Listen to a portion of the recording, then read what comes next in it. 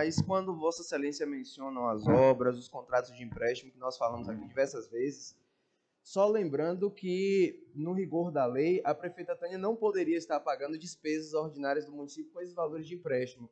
Né? Empréstimos só podem ser contraídos para cobrir despesas de capital, que são investimentos, obras públicas.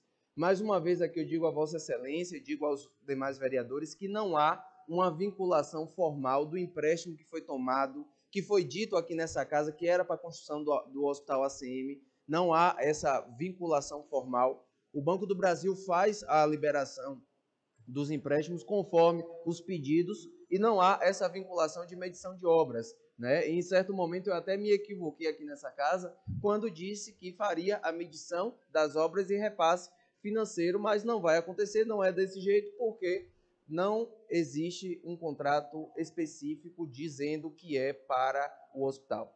Isso disseram, mandaram um recado para essa casa, porque também aqui não veio ninguém do Poder Executivo dizer, nem explicar como seria. Nós recebemos o um recado através aqui da mesa diretora da casa de que o projeto dos 20 milhões de reais seria para as obras do Hospital CM. Lembrando, senhores, que está disponível no SIGA, já são 14 milhões de reais que entraram na, na, nas contas do município.